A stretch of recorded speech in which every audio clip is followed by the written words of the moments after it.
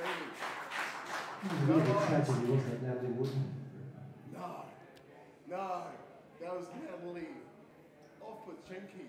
She was pretty. Let's do no lies. Although my effects aren't working, so I'll do my best. I'm playing it straight. The way people used to back in the old days of rock and roll.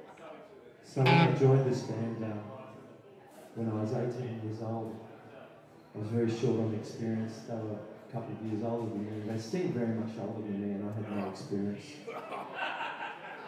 So the only I wish I had like, to, to be to be in competition with writing like Eugene wrote a lot of really good songs. So all I could think to write about was growing old and, and death, which seemed pretty heavy. Um, I really knew nothing about it, but uh, it seems now that this song has come a bit more in the ass because it's made a lot of sense. It was actually a good songwriter back then. Well, that's very cheery. Oh, thank you.